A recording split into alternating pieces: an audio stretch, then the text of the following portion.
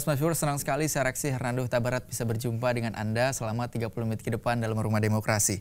Ujaran kebencian kerap terjadi di tanah air yang dikental sekali dengan isu SARA yang menjadi topiknya. Kemudian hal ini sering dikaitkan dengan berbagai kepentingan golongan atau kelompok. Lalu bagaimanakah undang-undang yang mengatur terhadap kasus ujaran kebencian ini? Untuk itu kita akan membahas hal tersebut atau undang-undang ujaran kebencian di Indonesia bersama narasumber yang sudah hadir di Studio Binus TV pada hari ini yaitu Bapak Ahmad Sofyan selaku dosen bisnis Law Binus University.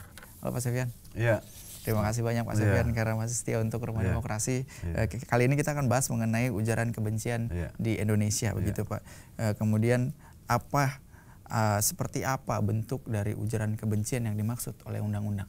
Jadi ujaran kebencian itu kan sebenarnya diatur dalam pasal 28 ya Undang-Undang ITE Baik. ya.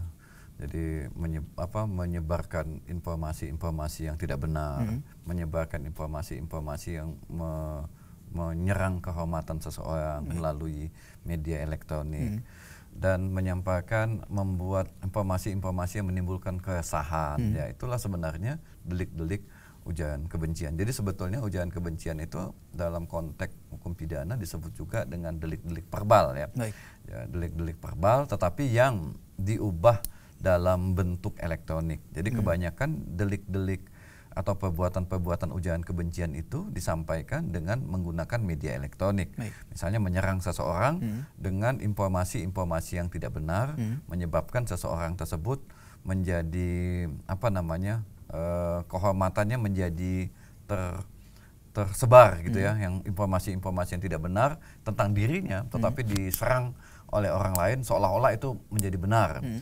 Dan saat ini ujaran kebencian itu menjadi menjadi isu yang hangat hmm. menjelang uh, pemilihan uh, serentak tahun 2018 Baik. dan menjelang uh, pemilu Jadi tahun 2019 gitu ya, ya. Jadi lawan-lawan uh, politik hmm. itu atau internal politik sendiri hmm. ya itu saling menyerang hmm. ya untuk menjatuhkan untuk menyeb, apa, me, menyebabkan uh, konstituen tidak memilih yang bersangkutan hmm. atau untuk memenangkan pertarungan di dalam sebuah arena politik. Jadi ujaran kebencian ini sebuah uh, delik, tetapi deliknya itu sekarang dimanfaatkan hmm. untuk delik-delik politik sebetulnya. Baik. Jadi ujaran kebencian kadang-kadang mungkin berkaca dari pilkada DKI kemarin ya. Iya, jadi ujaran kebencian itu kadang-kadang dimanfaatkan hmm. oleh penguasa hmm. untuk membungkam ya lawan-lawan politik hmm. yang melakukan perbuatan-perbuatan yang tidak fair hmm. gitu ya. Padahal di dalam situasi demokrasi eh, harusnya ujaran kebencian itu tidak digunakan. Ya. Hmm. Ya. Ujaran kebencian itu sebetulnya kan untuk sara, hmm. ya, untuk suku, untuk agama, hmm. yang menimbulkan keresahan hmm. di kalangan masyarakat. Jadi serangan-serangan terhadap kelompok-kelompok tertentu. Hmm. Jadi bukan serangan kepada individu-individu tertentu Baik. sebetulnya ujaran kebencian itu. Jadi ditujukan kepada agama tertentu, hmm. kepada etnis tertentu, hmm. kepada um, menggunakan sara iya, begitu ya. Iya, sebetulnya di area itu. Hmm. Jadi ditujukan pada kelompok. Baik. Bukan kepada orang perorangan. Karena hmm. kalau orang perorangan nanti jatuhnya itu adalah delik pencemaran pencemaran nama baik. Pencemaran ya? nama baik, ya pencemaran nama baik. Hmm. Seperti yang diatur dalam pasal 310, hmm. 311 sampai 316 Kitab Undang-Undang Hukum uh, Pidana. Hmm. Tetapi belakangan ujaran kebencian itu menjadi marak. Hmm. Saya misalnya diviralkan di media sosial, hmm. ya saya bisa menuntut balik, melapor balik hmm. orang yang memviralkan informasi yang tidak benar tentang diri saya. Hmm. Saya menyatakan yang bersangkutan telah melakukan delik ujaran kebencian. Hmm. Padahal nggak bisa itu digolongkan sebagai hmm. ujaran kebencian. Dia bisa melaporkan orang bersangkutan, hmm. tetapi deliknya bukan ujaran kebencian, tapi fitnah nama baik. atau pencemaran nama baik. Ya, jadi mana ujaran kebencian hmm. yang ditujukan kepada kelompok tertentu, mana pencemaran nama baik, mana fitnah hmm. yang ditujukan kepada individu-individu tertentu. Artinya ada tiga kategori yang, iya. yang, yang tersangkut dengan hal-hal iya. pencemaran-pencemaran ini ya Pak, iya. ujaran kebencian, pencemaran iya. baik dan fitnah. Iya. Apa yang membedakan uh, tiga kolom ini uh, secara mendasar Pak? Nah kalau dia ujaran kebencian itu kan diatur di dalam pasal 28 ITE ya. Mm -hmm. Kalau kita baca secara detail ya unsur-unsurnya jelas itu ditujukan kepada kelompok-kelompok tertentu mm -hmm. ya kepada uh, kalau namanya kelompok itu berarti tidak individu lawannya ya. Hmm. Memang tidak ada batasan kelompok itu berapa orang Baik. ya. Pada agama tertentu, Hmm. pada etnis tertentu, kepada warna kulit tertentu Hmm. ya. Jelas serangannya ditujukan kepada itu ya. Pada grup ya. Hmm. Baik. Uh, the the group indi- individual. Hmm. Itu ujaran kebencian. Jadi kalau saya meng- me- menyatakan bahwa agama tertentu Hmm. tidak benar, Baik. nah itu bisa dikategorikan sebagai ujaran, Ujaran kebencian, kebencian. ya kan? Jadi penganut agamanya tersebut bisa marah kepada saya. Baik. Kenapa? Karena saya menyatakan agama Anda tidak benar. Baik. Nah, kalau dia fitnah ditujukan kepada saya Ahmad Sofian diserang bahwa Ahmad Sofian Hmm. Kepada itu pribadi perilakunya brengsek eh, suka eh, menyatakan sesuatu yang tidak benar itu kan ditujukan kepada diri saya sendiri jadi eh, jadi saya yang dilaporkan kenapa karena saya dituduh menyebabkan orang lain ya merasa terganggu dengan ucapan-ucapan saya Baik. ya atau merasa tercemar dengan ucapan-ucapan saya atau merasa dirinya sakit hati dengan ucapan-ucapan saya. Baik. Jadi pada individu-individu tertentu itu pencemaran nama baik. Jadi yang diserang adalah harkat martabat perseorangan. Baik. Nah, itu. Jadi itu namanya pencemaran nama baik. Kalau fitnah yang hampir sama dengan itu ya. Fitnah itu eh, juga ditujukan kepada individu-individu tertentu tetapi sesuatu yang tidak benar ya pada individu tersebut saya nyatakan sebagai sesuatu yang benar. Baik. Jadi informasi yang tidak benar tentang si A ya saya sampaikan kepada publik. Hmm. Misalnya yang bersangkutan itu sebenarnya adalah suku Batak. Hmm. Ya. Padahal dia bukan suku Batak. Hmm.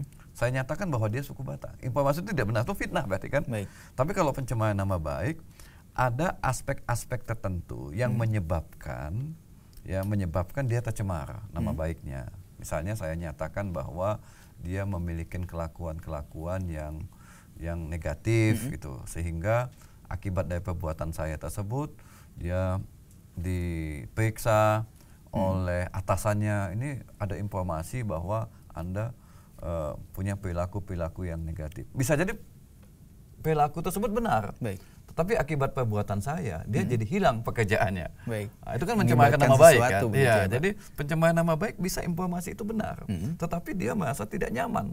Informasi tersebut disampaikan kepada publik. Kenapa? Itu kan privasi. Baik. privasi saya kenapa disebarluaskan kepada publik Sehingga menyebabkan kerugian. ya, Ya kerugian, apakah kerugian material, kerugian moral akibat dari ucapan-ucapan saya tersebut.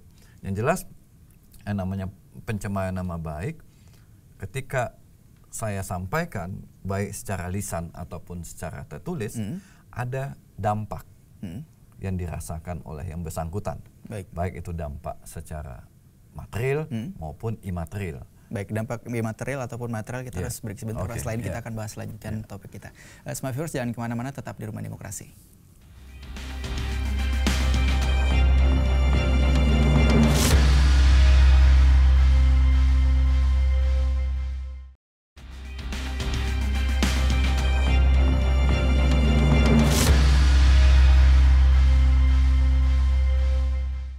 Terima kasih Smart viewers Anda masih bersama kami dalam Rumah Demokrasi untuk topik Undang-Undang Ujaran Kebencian di Indonesia masih bersama dengan Pak Ahmad Sofyan. Kita lanjutkan perbincangan kita Iya. Pak. Eh, tadi terakhir kita bahas mengenai eh, kerugian yang yang di- ditanggung begitu oleh oleh eh, korban dari ujaran kebencian, kemudian fitnah dan pencem- pencemaran nama baik.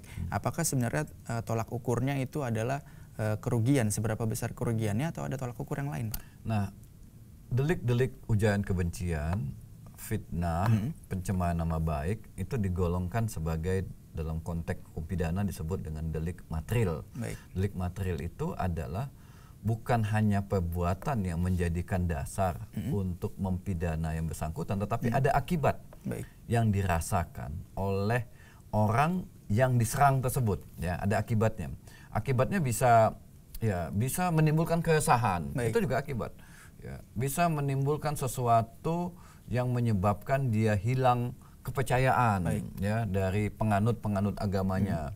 Atau itu merupakan satu bentuk yang menyebabkan bahwa perbuatan tersebut menimbulkan satu perdebatan panjang di dalam kelompok tersebut dan ada keinginan untuk membalas kembali ucapan tersebut. Nah, ini kan apa ya? Ini bisa bisa dikatakan sebagai akibat ya. Jadi ada perbuatan, perbuatan tersebut menimbulkan akibat. Baik. Akibat itu bisa konkret ya, hmm. konkret itu menimbulkan satu bentrok perkelahian antar suku, antar agama hmm. atau ya tadi itu uh, apa nama menjadi perbincangan hmm. di, di kalangan yang di yang di diujar tersebut hmm. oleh pihak lain. Sehingga menimbulkan kerugian material begitu ya. Ya, bisa jadi mereka akan akan melakukan sesuatu yang hmm. yang menimbulkan ya jadi dampak dari perbuatan tersebut bisa jadi akan melakukan sesuatu perbuatan juga hmm. yang ditujukan kepada yang bersangkutan. Ini kan sebuah akibat. Jadi perbuatan tersebut menimbulkan hmm. keinginan untuk membalas perbuatan tersebut. Hmm. Meskipun membalas itu adalah perbuatan pidana juga, hmm. tetapi itu kan akibat dari perbuatan tersebut. Atau akibat dari perbuatan tersebut masyarakat tidak lagi ya hmm. percaya kepada yang bersangkutan sebagai Baik. sebagai tokoh yang dikagumi itu itu juga adalah akibat. Jadi ujaran kebencian menimbulkan keresahan, hmm. menimbulkan dampak kepada kelompok. Hmm. Ah, kelompok itu tadi itu seperti yang dijelaskan tadi hmm. bisa agama, bisa Baik. suku, bisa etnis, warna kulit. Hmm. Tapi kalau dia fitnah dan pencemaran hmm. harus dibedakan. Ini dipada, ditujukan pada individu. Hmm. Jadi mana perbuatan itu ditujukan kepada individu, hmm. mana perbuatan tersebut ditujukan kepada pada kelompok. Kelompok. Ketika itu ditujukan pada kelompok, dia berubah menjadi ujaran kebencian. Baik, kemudian e, dalam pasal 45 ayat 2 Undang-Undang ITE e, eh, disebutkan bahwa barang siapa yang terbukti bersalah dalam persidangan melakukan ujaran kebencian maka didenda e, paling banyak satu miliar rupiah. Angka ini men, e, sangat fantastis begitu yeah. Pak, satu miliar rupiah yeah. untuk ujaran kebencian. Apakah angka ini range-nya sangat besar atau kecil dalam pidana? Itu kan maksimal ya, hmm. itu kalau dilanjutkan lagi atau pidana selama-lamanya enam tahun ya. hmm. ya. Jadi pilihannya adalah denda maksimal satu miliar hmm. atau pidana setinggi tingginya enam tahun. Baik. Itu kan maksimal ya. Baik. Tergantung kualifikasi dari perbuatan tersebut. Baik. Yang kedua tergantung kepada personnya, apakah hmm. dilakukan dengan sengaja hmm. atau tidak sengaja, atau sebetulnya eh, yang bersangkutan misalnya baru pertama kali melakukan tindak pidana tersebut, hmm. atau ada pihak lain yang mempengaruhi meng gitu. menganjurkan dia untuk hmm. melakukan perbuatan tersebut. Hmm. Jadi banyak faktor untuk bisa tidak mencapai maksimal. Hmm. Bisa maksimal ternyata yang bersangkutan sudah beberapa kali hmm. melakukan ujaran kebencian, hmm. sudah menjadi passion dia bahwa hmm. dia senang melakukan ujaran kebencian. Nah, Baik. Nah itu bisa kena ancaman maksimal yang satu miliar tadi atau atau pidana penjara maksimum enam tahun. Baik, tolak ukurnya apakah dari status-status sebelumnya begitu? Ya, jadi di dalam mempidana seseorang tergantung ada alasan-alasan yang memperberat, hmm. ada alasan-alasan yang memperingan. Baik. Ya, memperberat itu tadi tuh dilakukan dengan sengaja. Yang bersangkutan sudah beberapa kali melakukan mm -hmm. tindak pidana. Berbelit-belit menyampaikan di sidang pengadilan mm -hmm. ya. Tidak mengakui perbuatan yang bersangkutan padahal alat-alat bukti sudah cukup. Ini bisa kena. Tapi yang memperingan ada juga. Misalnya sudah sangat usianya sudah sangat tua. Mm -hmm.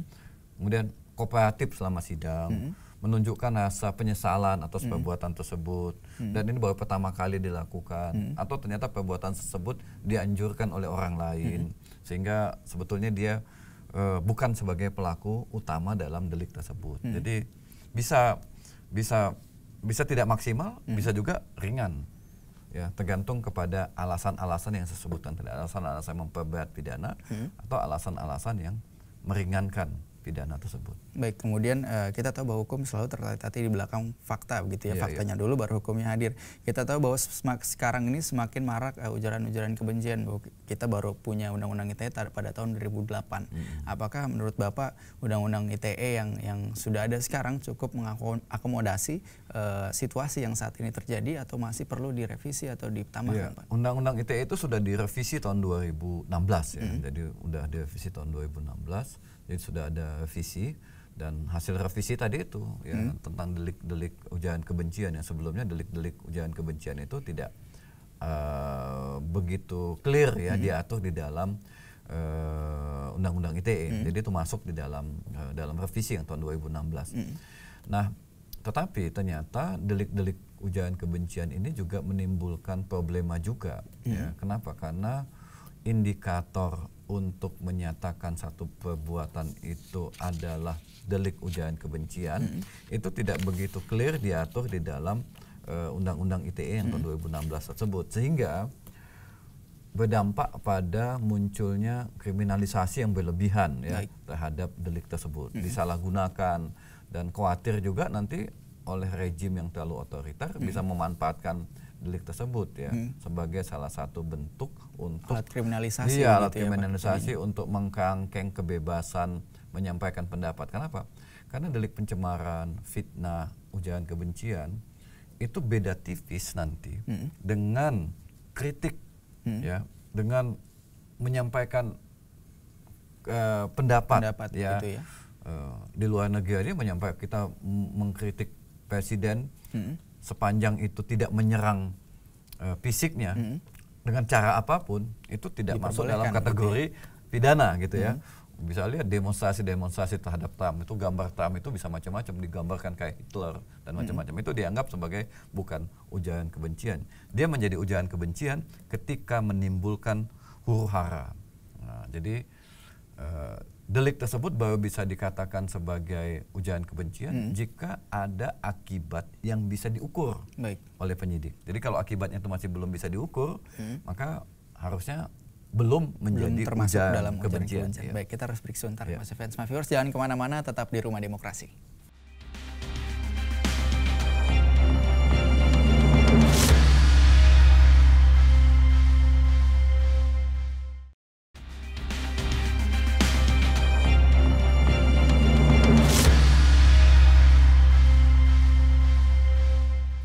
Terima kasih semua viewers Anda masih bersama kami dalam Rumah Demokrasi. Kita lanjutkan perbincangan kita Pak. Terakhir kita membahas mengenai uh, perbandingan begitu ya. Yeah, Kalau yeah. di Amerika uh, kat, uh, boleh mengkritik pemerintah selagi tidak menyentuh fisik yeah, begitu ya. Yeah. Berbeda dengan Indonesia. Yeah. Nah, apakah Indonesia harus seperti Amerika?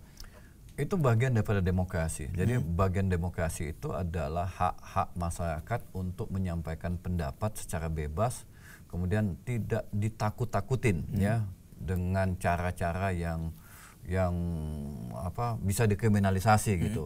Contoh di Amerika Serikat ketika Trump ya mengeluarkan kebijakan menaikkan pajak, ya, masyarakat nggak setuju menaikkan pajak. Kenapa? Hmm. Pendapat mereka jadi berkurang hmm. karena itu karena ada kebijakan yang yang me, menaikkan pajak, hmm. masyarakat melakukan unjuk rasa. Hmm. Bahkan Trump itu digambarkan seperti Pinocchio. Hmm. Ada lagi di dalam poster itu digambarkan seperti Hitler hmm. yang menyedot darah masyarakat. Hmm. Jadi itu tidak tidak merupakan tindak pidana ya, hmm. sepanjang dilakukan dengan prosedur yang benar. Baik. Jadi ada izin untuk melakukan demonstrasi hmm. dan izin tersebut di satu tempat dan dilakukan secara tertib. Hmm. Tapi kalau menimbulkan kerusakan itu baru pidana. Tapi hmm. pidananya itu adalah kerusakan yang ditimbulkan, Baik. bukan bentuk penyampaian pendapatnya. Baik. Jadi menurut saya ujaran kebencian itu malah uh, memundurkan demokrasi di kita. Hmm. Kenapa? Karena masyarakat kan harusnya dikasih kesempatan menyampaikan pendapat. Hmm. Tapi kalau pendapat tersebut menimbulkan persoalan-persoalan, nah itu hmm. yang baru dipidana. Tapi kalau pendapat itu hanya menyatakan bahwa Anda tidak layak menjadi anggota DPR, hmm. kenapa? Karena anda memiliki kekayaan sumbernya tidak jelas, hmm. masa itu dikatakan ujaran kebencian? Kan aneh itu. Iya. Padahal karena nggak berakibat begitu ya, Apanya? Nggak berakibat. Iya, tidak berakibat. Jadi hanya mau menyatakan bahwa anda tidak layak jadi anggota DPR, hmm. Anda tidak layak jadi gubernur. Kenapa? Karena perilaku Anda di masa lalu itu mencerminkan Anda adalah orang yang korup dan rakus. Hmm. Nah di Amerika, di negara demokrasi itu biasa aja. Hmm. Ya, penyampaian pendapat itu tidak dianggap sebagai pencemaran nama baik atau fitnah atau apalagi ujaran kebencian. Artinya sebenarnya penafsiran terhadap undang-undang uh, ujaran kebencian di Indonesia adalah sesuai dengan apa yang seperti di Amerika begitu bebas yang penting nggak menimbulkan akibat atau memang uh, nggak boleh bebas gitu bebas tapi ada batasnya begitu pak. Jadi kalau di Amerika Serikat ya atau di negara demokrasi perbuatan yang dilakukan seseorang apakah lisan ya atau tertulis sekalipun mm -hmm. sepanjang perbuatan tersebut tidak menimbulkan ya kerugian hmm. material hmm. atau menimbulkan kejahatan pada nyawa tubuh hmm. itu bukan pidana. Jadi ucapan verbal hmm. itu bukan merupakan delik sepanjang tidak menimbulkan akibat. Hmm. Ya, akibat yang yang tadi itu yang bisa diukur ya. Hmm. Nah, demikian juga dengan penyampaian-penyampaian melalui media elektronik. Hmm. Ya, Anda lihat sendiri beberapa waktu yang lalu media di di di salah satu negara Eropa menyampaikan hmm. sosok seseorang hmm. yang menyinggung perasaan umat lainnya. Hmm. Tapi di negaranya itu sesuatu yang biasa hmm. ya bukan merupakan delik nah, cara pandang itu yang harus kita luruskan kembali ujaran kebencian harus dipastikan se menjadi sebuah delik apabila menimbulkan akibat akibat tersebut bisa diukur hmm. tapi kalau ucapan-ucapan tersebut tidak menimbulkan akibat itu dianggap aja sebagai sebuah hmm kebebasan untuk menyampaikan ekspresi atau hmm. pandangan yang berbeda hmm. dengan orang yang dituduh tadi hmm. itu. Tetapi kalau ditujukan kepada kelompok tertentu, kepada agama tertentu, kepada ras tertentu, maka pastikan bahwa ujaran kebencian tersebut hmm. juga hmm. menimbulkan akibat pada kelompok-kelompok yang diserang tersebut. Tapi kalau ujaran kebencian tadi bagi kelompok yang diserang biasa-biasa aja, gitu. nggak ada masalah bagi hmm. kami, itu kan harusnya dianggap bukan sebagai delik. Sebagai delik. Jadi harus dilihat apakah ada akibat dari perbuatan tersebut atau tidak. Hmm. Baik, kemudian uh, uh, untuk dapat menjalankan undang-undang dengan sebaik-baiknya, menurut Anda sikap apakah yang, yang mempunyai peran penting agar hilangnya ujaran kebencian yang ada di Indonesia? Jadi uh, masyarakat kita memang dalam tahap demokrasi, hmm. lagi belajar demokrasi. Jadi kadang-kadang uh, para netizen ini terpancing ya, hmm. terlalu kebablasan menyampaikan pendapatnya sehingga kadang-kadang menyinggung atau bisa menimbulkan keresahan bagi kelompok-kelompok hmm. yang lain. Nah, bagi saya adalah bagaimana didikan kepada masyarakat yang lebih penting ya. Hmm. Jadi sebetulnya bukan mengancam mereka dengan delik pidana, tetapi bagaimana pidana itu kan ultimum remedium, digunakan hmm. sebagai sarana yang terakhir. Tapi kalau bisa dicegah masyarakat untuk tidak melakukan perbuatan-perbuatan yang melanggar norma, hmm. itu jauh lebih baik dibandingkan dengan ancaman-ancaman pada atau menggunakan sarana-sarana hukum pidana. Hmm. Baik, mengingat tadi Bapak membahas sedikit mengenai hak demokrasi, yeah. begitu membatasi hak demokrasi ujaran kebencian ini, apakah hmm. tidak bertentangan dengan HAM, Pak? Uja malah untuk uh, yang dikatakan HAM itu adalah menyampaikan pendapat hmm. tanpa ada rasa takut hmm. atau ada rasa atau ada ancaman. Hmm. Ya, itu itu makna daripada demokrasi. Nah, itu demokrasi yang yang yang yang berkembang ya di hmm. negara-negara yang mengembangkan demokrasi hmm. itu. Memang demokrasi di Indonesia pasti beda dengan negara lain. Hmm. Nah, jika penyampaian pendapat itu menyerang orang lain, menyerang seseorang, maka orang lain tersebutlah yang harus menyampaikan. Hmm apa namanya komplainnya kepada polisi. Jadi Baik. bukan polisi yang langsung mengkriminalisasi orang yang bersangkutan, Baik. tapi orang yang diserang tersebutlah yang harus menyampaikan. Aduan gitu. Ya, ya aduan. Hmm. Jadi kalau orang yang bersangkutan tidak komplain, tidak melaporkan kepada polisi, hmm. ya itu bukan bukan harusnya itu tidak dianggap sebagai delik. Baik, singkat ya. saja mungkin kesimpulan ya. untuk topik kita pada hari ini. Ya, jadi kesimpulannya adalah bahwa uh, ujaran kebencian, hmm. pencemaran nama baik dan fitnah harus ditafsirkan sebagai delik-delik material. Delik material itu artinya adalah perbuatan tersebut belum menjadi delik sepanjang tidak menimbulkan akibat hmm. yang akibat tersebut bisa diukur hmm. dampaknya kepada korban dan kepada ketertiban di dalam masyarakat. Baik, terima kasih banyak Pak Sofian yeah, yeah. atas kehadirannya untuk yeah. membahas topik uh, uh, ujaran kebencian di Indonesia, yeah. gitu Undang-Undang Ujaran Kebencian di Indonesia. Smart viewers demikianlah perbincangan kita pada hari ini. Semoga dapat menambah pengetahuan smart viewers sekalian terkait dengan uh, Undang-Undang Ujaran Kebencian di Indonesia dan menjadi lebih cerdas begitu dalam uh, bermedia sosial. Akhir kata saya Reksi Hernando Barat, Pak Sofian dan seluruh yang bertugas mengucapkan terima kasih atas kebersamaan Anda. Sampai berjumpa di Rumah Demokrasi episode berikutnya.